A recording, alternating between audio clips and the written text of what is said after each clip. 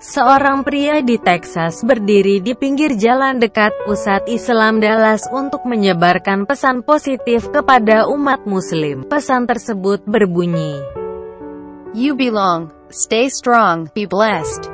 We are one America.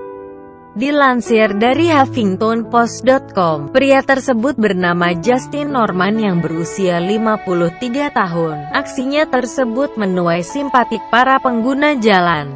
Foto Justin yang berjanggut putih dan menggunakan topi koboi ini langsung tersebar di media sosial. Justin mengatakan bahwa aksinya tersebut tentang merangkul yang terluka.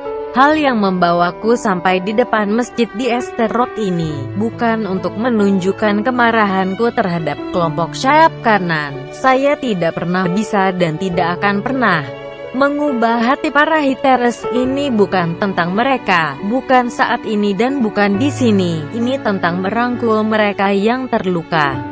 Tentang menunjukkan kasih sayang dan empati kepada mereka yang terluka dan takut yang berada di sekitar kita, atau dalam beberapa tradisi Kristen, seperti mencuci kaki saudaraku.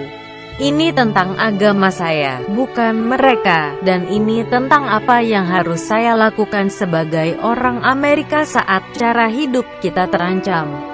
Menargetkan orang-orang hanya karena agama mereka itu bukan hanya mengancam mereka tapi itu juga sangat bertentangan dengan cara hidup kita yang seharusnya. Pengurus masjid terdekat mengatakan, dia sempat melihat orang yang berada di luar masjid dalam beberapa hari terakhir. Pria tersebut menyampaikan simpatinya kepada komunitas muslim yang terus menuai kebencian dan merasa takut sejak terpilihnya Trump sebagai Presiden Amerika Serikat. Sejak terpilihnya Trump sebagai Presiden Amerika Serikat, laporan Islamofobia mengalami peningkatan di beberapa negara bagian. Kendati demikian, Muslim Amerika juga mendapat dukungan dari warga Amerika. Sebelumnya, pemimpin lintas agama Amerika juga menyatakan dukungannya terhadap Muslim Amerika Serikat, pemuka agama Kristen, Yahudi, dan Buddha bergabung dengan Muslim di sebuah masjid Washington DC. Para pemuka agama ini ingin menunjukkan adanya solidaritas yang kuat antar agama di Amerika khususnya pasca terpilihnya Donald Trump sebagai presiden baru Amerika Serikat, kita harus berjanji bahwa tidak akan ada yang membuat orang lain takut kepada Amerika, bukan fanatik.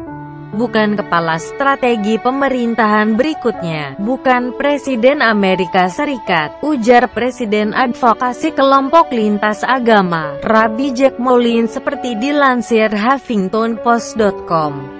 Setelah berbicara di depan media, para pemimpin lintas agama melakukan doa bersama di masjid. Pertemuan tokoh lintas agama akan terus dilakukan untuk menghapus sentimen anti-muslim di Amerika.